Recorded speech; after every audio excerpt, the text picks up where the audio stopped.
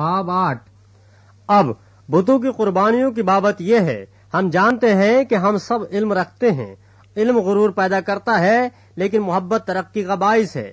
اگر کوئی گمان کرے کہ میں کچھ جانتا ہوں، تو جیسا جاننا چاہیے، ویسا اب تک نہیں جانتا۔ لیکن جو کوئی خدا سے محبت رکھتا ہے، اس کو خدا پہچانتا ہے۔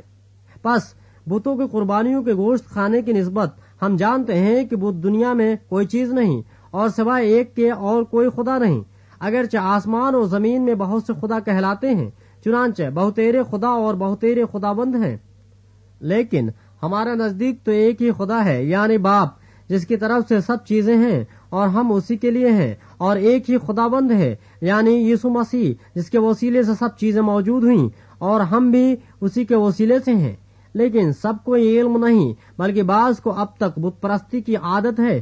اس لیے اس گوشت کو بت کی قربانی جان کر کھاتے ہیں اور ان کا دل چونکہ کمزور ہے، آلودہ ہو جاتا ہے۔ کھانا ہمیں خدا سے نہیں ملائے گا۔ اگر نہ کھائیں تو ہمارا کچھ نقصان نہیں، اور اگر کھائیں تو کچھ نفع نہیں۔ لیکن ہوشیار رہو، ایسا نہ ہو کہ تمہاری یہ آزادی کمزوروں کے لیے ٹھوکر کا باعث ہو جائے۔